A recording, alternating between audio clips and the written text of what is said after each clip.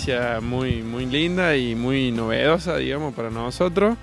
Eh, en el día de ayer estábamos dando una recorrida en el campo con el ingeniero Godoy y nos avisa el tambero que había una vaca que había parido trillizo, digamos, que para nosotros era una novedad total.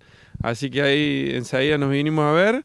El último de las, son tres hembritas, la última, mejor dicho, la última en parir eh, fue más o menos a las 7 de la mañana. Y bueno, nos dimos con esa novedad de que había tres hembras eh, trillizas eh, y que en este momento están en perfecto estado de sanitario y ya han, tomado bien el calostro, que es la primer leche, y se encuentran perfectas las tres. Contanos, ¿esto es una casualidad? Eh, ¿Se lo buscó de alguna forma? Este, ¿Estaba bajo algún régimen o protocolo de trabajo? Claro, no, no, no, esto digamos, la vaca es la vaca 642, después uno empezó a buscar en los registros y apareció que el día 22 de septiembre del año 2016 se le dio servicio con, con una pajuela de semen convencional, digamos, nada, nada raro de lo que se le hizo al resto de las vacas, sino que fue, bueno, algo que la naturaleza hizo que, que se dé, digamos. Ahora, este, ¿cómo sigue el proceso, no? ¿Qué pasa con estos terneros?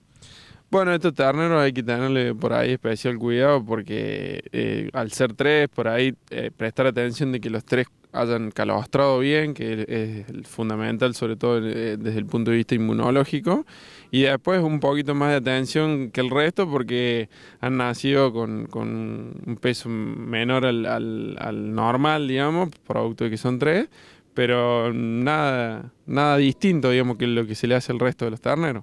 Bien. Eh, estas noticias realmente como profesional a vos te, te enorgullece, ¿no? Porque es parte de lo que te devuelve la naturaleza, ¿no? Sí, sin lugar a dudas, es una de esas cosas que a uno lo sorprende y que por ahí rompe la monotonía del día a día, sobre todo en el tambo que es bastante rutinario, imagínate, así que esas cosas son, son muy lindas, la verdad. Y también para los alumnos que, que, están trabajando aquí en el campo, ¿no? Sí, sí, seguramente. Poder presenciar y ver esto, creo que se debe dar una vez en, en un millón, no sé la verdad estadísticamente, pero no es normal ni es común ver esto.